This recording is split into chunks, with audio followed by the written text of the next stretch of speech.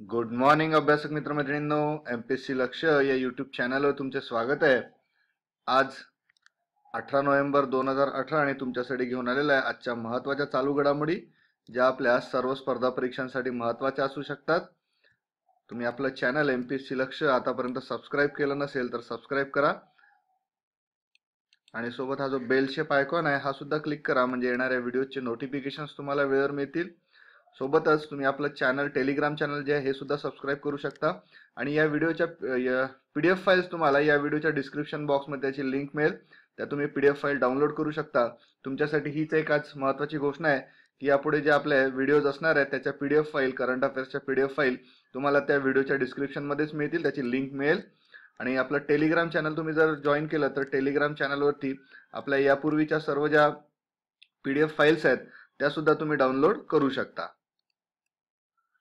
मी अन होती सुद्धा शिकवतो. त्यासाठी तुम्ही अनअकॅडमी लर्निंग ॲप डाउनलोड करा आणि तिथे लक्ष एम पी एस सी या नावाने मला सर्च करू शकता. ही माझ्या प्रोफाईलची लिंक आय डी आहे. आय डी आहे. तुम्ही या व्हिडिओच्या डिस्क्रिप्शन बॉक्समध्ये मी तुम्हाला दिले तिथे सुद्धा तुम्ही क्लिक करून मला तिथे फॉलो करू शकता आणि माझ्या माध्यमातून अपलोड झालेले व्हिडिओज बघू शकता. मॅडम सुद्धा अन होती शिकवतात आणि तिथे त्यांना तुम्ही फॉलो करू शकता. डॉक्टर प्रीती या नावाने मॅडमच्या माध्यमातून. सर्व J P D F files आहेत त्या अपलोड झालेल्या आहेत. पहिले आपण सतरा नोव्हेंबरचे प्रश्न बघून घेऊया. काल मी तुम्हाला प्रश्न विचारला होता की जागतिक महिला स्पर्धा कुठे चालू झालेली आहे? आणि या स्पर्धेसाठी ब्रँड अँबॅसिडर म्हणून कोणाची नियुक्ती करण्यात आलेली आहे? तरी सध्या जागतिक महिला अजिंक्यपद बॉक्सिंग स्पर्धा जी आहे ही नवी दिल्ली येथे चालू झाली आहे आणि भारताची मेरी कोम ही यासाठी ब्रँड अँबॅसिडर आहे. तर भारताच्या ज्या महिला बॉक्सिंगपटू आहे त्यांनी आपापले सामने जिंकले आणि जवळपास सर्वच बॉक्सिंगपटू या प्री क्वार्टर फायनल्समध्ये गेलेले आहेत. मेरी कोमची जी लढत असणार आहे ती आज असणार आहे. दुसरं आंतरराष्ट्रीय वजनाचं परिमाण ग्रँड के याबद्दल आपण काल माहिती घेतली होती. ग्रँड के हे कशापासून तयार करण्यात आलेलं आहे? म्हणजे वन किलोग्रामचं जे रेफरन्स वेट आहे हे पॅरिस इथे ठेवण्यात आलेलं आहे आणि पॅरिसच्या तर हे जो हा जो ठोकळा आहे किंवा हा जो सिलेंडर आहे हा कशापासून तयार करण्यात आलेला आहे? तर हा दोन धातूंपासून तयार करण्यात आलेला आहे इरिडियम आणि प्लॅटिनम. या दोन धातूंपासून याला तयार करण्यात आलाय आहे. याचं ऑप्शन सी जे आहे हे उत्तर बरोबर आहे. बऱ्याचशा आपल्या अभ्यासक मित्रमैत्रिणींनी बरोबर उत्तरं दिलेली आहेत परंतु अजून तुम्ही जास्तीत जास्त उत्तर लिहिण्याचा प्रयत्न करा आणि डिटेलमध्ये लिहा. मी तुम्हाला यासाठी नेहमी सांगतो की डिटेलमध्ये जर तुम्ही लिहिलं तर ते तुमच्या पूर्णपणे लक्षात राहील. तुम्ही ते कधीच विसरणार नाही आणि अशा बाबतीत हे जे प्रश्न येतात तर त्याचं उत्तर तुम्हाला परीक्षेमध्ये सुद्धा लवकर रिकॉल येईल. तुमच्या हाताखालून जे लिहिलं जातं ते आपण कधी विसरत नाही. तर आजच्या बातम्यांना सुरुवात करूया. सर्वात पहिलं बातमी ती म्हणजे एकोणीसशे एकाहत्तर च्या युद्धाचे हिरो ब्रिगेडियर कुलदीप सिंग चौनपुरी यांचं निधन झालेलं आहे. आता हे कोण आहेत? तर तुम्ही बॉर्डर हा सिनेमा बघितला असेल. तर बॉर्डर या सिनेमामध्ये सनी देओल यांनी ज्यांची भूमिका निभावली होती ते कुलदीप सिंग ज्यांनी एक महत्वाची भूमिका एकोणीसशे एकाहत्तरच्या युद्धामध्ये पार पाडली होती आणि राजस्थानमधील लोंगेवाला जी पोस्ट आहे ही त्यांनी शत्रूच्या ताब्यात जाऊ दिली नाही. केवळ एकशे वीस सैनिकांच्या मदतीने जवळपास तीन हजारापेक्षा जास्त जे सैनिक होते पाकिस्तानचे आणि त्यांची पॅटर्न टँक असलेली जी रेजिमेंट आहे त्याला थांबवून ठेवलं होतं. पाच आणि सहा डिसेंबर एकोणीशे एकाहत्तर रोजी राजस्थान येथील लोंगेवाला सीमेवर पाकिस्तानकडून मध्यरात्री हल्ला चालवण्यात आला होता. यावेळी पंजाब तुकडीचे नेतृत्व कुलदीप सिंग यांनी केलं होतं.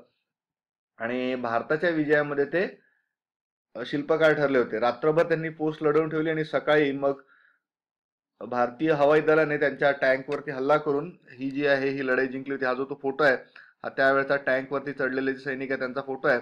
आणि या संदर्भात त्यांना मग त्यांच्या या बहादुरीसाठी त्यांना दुसरा जो सन्मान आहे सर्वात मोठा सन्मान जो आहे महावीर चक्र याने त्यांना सन्मानित करण्यात आलं होतं. वयाच्या अठ्याहत्तराव्या वर्षी आता त्यांचं निधन झालंय. तर कुलदीप सिंग चंदपुरी हे यांचं नाव आहे तर त्यांचं निधन झालेलं आहे.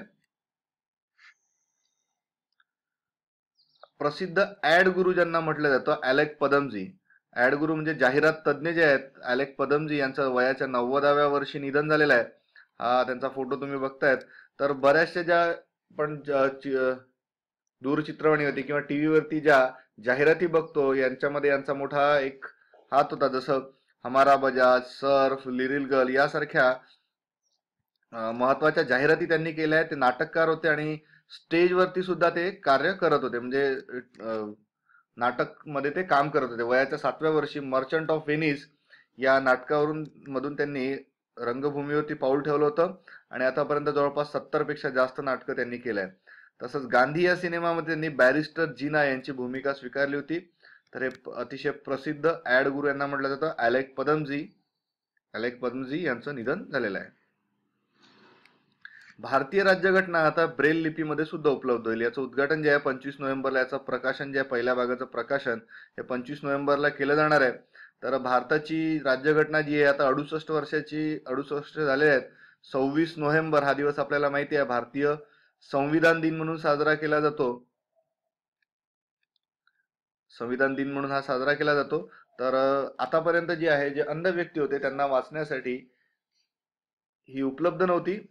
तर भारतीय राज्यघटना ही महत्वाची आणि ही ब्रेल लिपीमध्ये ब्रेल लिपी जी असते ही जे डोळ्याने बघू शकत नाही अशा व्यक्तींसाठी ही विशेष लिपी एक तयार करण्यात आली आहे आणि त्याच्या माध्यमातून ते वाचन करतात. तर आता भारतीय संविधान ब्रेल लिपीमध्ये सुद्धा उपलब्ध होणार आहे. The Buddhist association for blind Nashik येथील संस्थेने यासाठी पुढाकार घेऊन हे तयार केलं आहे. आणि बार्टी जे महाराष्ट्रामध्ये एक महत्वाचं काम करतं Babasaheb Ambedkar research and training institute. BARTI आणि सावी फाउंडेशन यांच्या मदतीने ही ब्रेल लिपीमधली भारताचं संविधान जे आहे राज्यघटना तयार केली जाते. मी सुद्धा तुम्हाला अनअकॅडमीवरती जे आहे भारतीय राज्यघटनेबद्दल माहिती देत आहे त्याचे लेक्चर्स तुम्ही बघितले नसेल तर बघून घ्या. त्याची लिंक सुद्धा आपल्या कम्युनिटी टॅबमध्ये दिलेली आहे. तर त्याच्यामध्ये सुद्धा आपण एम लक्ष्मीकांतच्या माध्यमातून भारतीय संविधानाचा अभ्यास करतोय. असीम कुमार रॉय यांचं बंगालचे लोकायुक्त म्हणून पश्चिम बंगालचे लोकायुक्त म्हणून नियुक्ती करण्यात आली आहे आणि हे पश्चिम बंगालचे दुसरे लोकायुक्त आहेत.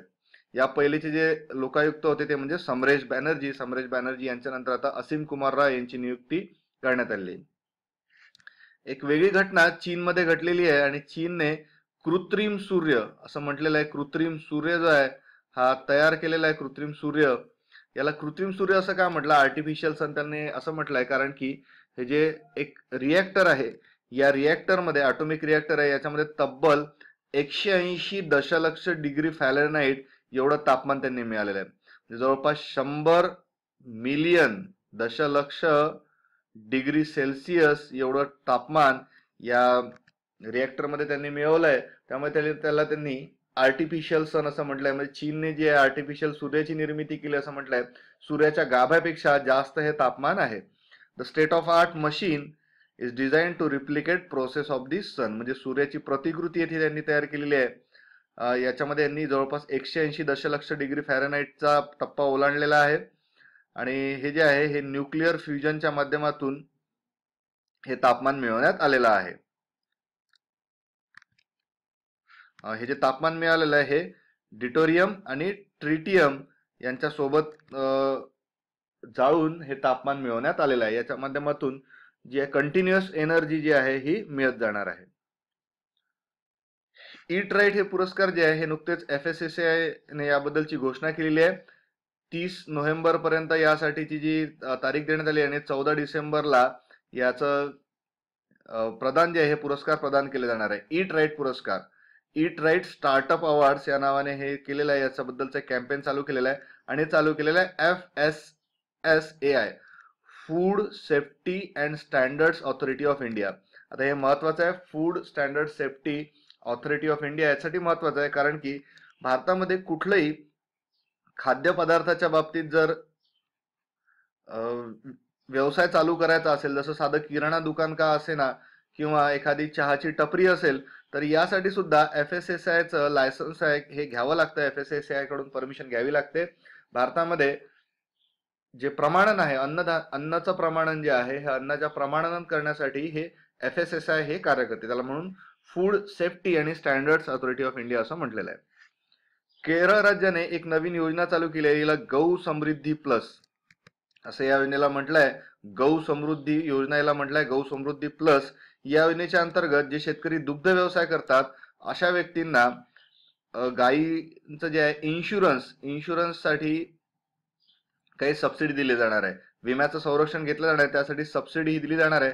सामान्य कॅटेगरी म्हणजे जनरल कॅटेगरीसाठी सबसिडी पन्नास टक्क्यांपर्यंत असेल तर एस सी आणि एस टी कॅन्डिडेटसाठी ही सत्तर टक्क्यांपर्यंत सबसिडी असू शकणार आहे. तर ही योजना जी चालू केली आहे ही केरळ राज्याने ही योजना चालू केलेली आहे. ओडिशाने नुकतंच आपलं नवीन जैव प्रौद्योगिकी पॉलिसी म्हणजे न्यू बायोटेक्नॉलॉजी पॉलिसी जी आहे ही लॉन्च केलेली आहे. आणि ही पॉलिसी जी आहे नवीन पटनायक जे मुख्यमंत्री आहेत. ओडिशा म्हटलं की ओडिशा म्हटल्यावर आपल्याला ही गोष्ट लक्षात येणं गरजेचं आहे की ओडिशाचे मुख्यमंत्री जे आहेत नवीन पटनायक यांनी याबाबतची घोषणा केली आहे. ओडिशा या पॉलिसीद्वारे ओडिशामध्ये बायोटेक्नॉलॉजीसाठी सर्वात जास्त इन्व्हेस्टमेंट आणण्याचा प्रयत्न केला जाणार आहे. आणि त्याद्वारे ओडिशाला बायोटेक्नॉलॉजीमध्ये क्रमांक एकचं राज्य बनवण्यासाठी भारतामधील क्रमांक एकचं राज्य बनवण्यासाठी प्रयत्न केला जाणार आहे. आणि यामध्ये मुख्य तीन गोष्टींचा भर दिला जाणार आहे. एक म्हणजे इनोव्हेशन इनोव्हेशन म्हणजे नवीन शोध इन्व्हेस्टमेंट म्हणजे गुंतवणूक आणि एंटरप्रिनरशिप म्हणजे व्यावसायिकता या सर्व गोष्टींवरती यावरती भर दिला जाणार आहे. आता इथे ओडिशा आलाय तर ओडिशाबद्दल काही गोष्टी आपल्याला माहीत असणं गरजेचं आहे. ओडिशामध्ये एक जे विलर द्वीप होतं या विलर द्वीपचं ए पी जे अब्दुल कलाम असं नामकरण करण्यात आलं होतं. हे विलर द्वीप जे आहे इथल्या समुद्रामध्ये आहे. आणि चिल्का जे सरोवर आहे सर्वात मोठं जे सरोवर आहे चिल्का सरोवर हे चिल्का सरोवर सुद्धा ओडिशा राज्यामध्ये जाय ओडिशाची राजधानी म्हणजे भुवनेश्वर. आणि तेथील विद्यमान मुख्यमंत्री नवीन पटनायक हे आहेत.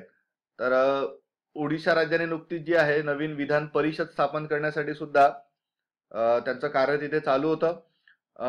जे ए पी जे अब्दुल कलाम द्वीप असं नाव या व्हीलर द्वीपला नेण्यात आलं होतं आणि या ए पी जे अब्दुल कलाम द्वीपवरूनच या बेटावरूनच अग्नी पाच ही जी मिसाईल आहे याची यशस्वी चाचणी घेण्यात आली होती. क्रीडा क्षेत्रातील बातम्या समजून घेऊया.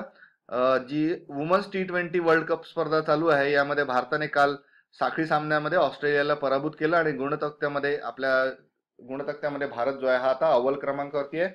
आणि भारताची जी आहे पुढे उपांत्यपूर्व फेरी उपांत्यपूर्व फेरीसाठी जी आहे भारत पुढे गेलेला आहे. यामध्ये भारताने काल ऑस्ट्रेलियावरती दणदणीत विजय मिळवला. अठ्ठावीस धावांनी हा विजय होता. आणि यामध्ये स्मृती मंदना स्मृती मंदना हिने आहेत त्र्याऐंशी धावाची जबरदस्त खेळी केली. स्मृती मंदनाबद्दल आपल्याला माहीत असणं गरजेचं आहे. तिला यावर्षीचा जो आहे अर्जुन पुरस्कार हा देण्यात आलेला आहे. ती महाराष्ट्रातील एक खेळाडू आहे. तिला अर्जुन पुरस्कार यावर्षीचा अर्जुन पुरस्कार देण्यात आलेला आहे. स्मृती मंदनाला. भारता महाराष्ट्रामधून स्मृती मंदना आणि राही सरनोबत यांना यावर्षीचा जो अर्जुन पुरस्कार हा देण्यात आलेला होता. एवढी माहिती आपल्याला या बाबत मिळते. तर आजचे प्रश्न बघून घेऊया. एपीजे अब्दुल कलाम बेट हे कोणत्या राज्यात आहे आपण याबद्दल आता डिस्कशन केलंय. महाराष्ट्र ओडिशा आंध्र प्रदेश की यापैकी नाही. तर याच्याबद्दल तुम्हाला जी काय माहिती असेल तुम्ही डिटेलमध्ये लिहा. कृत्रिम सूर्याची म्हणजे हे जे कृत्रिम सूर्याला म्हटलंय आर्टिफिशियल सन याची निर्मिती कुठल्या देशाने केलेली आहे? भारत अमेरिका रशिया की चायना. तर याबद्दलची जी माहिती आहे तुम्ही कमेंट बॉक्समध्ये लिहा. सर्व स्पर्धा परीक्षांसाठी उपयुक्त असं असलेलं हे चॅनल आहे आणि तुम्हाला याच्याबद्दलच्या सर्व ज्या याच्या पी डी एफ फाईल्स आहेत त्या तुम्ही याच्या डिस्क्रिप्शनमध्ये जी लिंक दिली त्यावरून डाउनलोड करू शकता. आणि तुम्हाला जर काही अडचण असेल तर तुम्ही मला या माध्यमातून ते कमेंट बॉक्समध्ये सुद्धा लिहू शकता. तर अभ्यासक मित्रमैत्रिणींनो करा अभ्यास बना अधिकारी धन्यवाद.